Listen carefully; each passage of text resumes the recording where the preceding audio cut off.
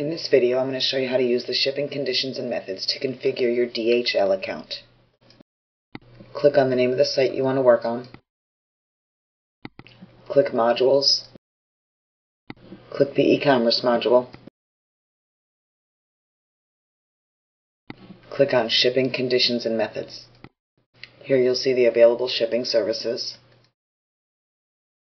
Be sure the box for DHL is checked and then click on Configure. Here you can rename this account if you wish. Checking this box makes this an active account. Checking this box will allow it to use the system account.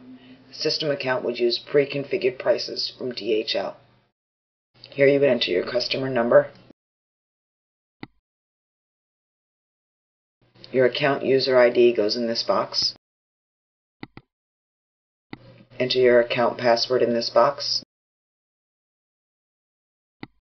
This is where your domestic shipping key belongs. This is where your international shipping key belongs. You usually receive the domestic and the international shipping key from DHL.com when you sign up for an account. This dropdown is asking you to select the default package type. This drop-down is to select the default address type. Checking this box will calculate delivery time.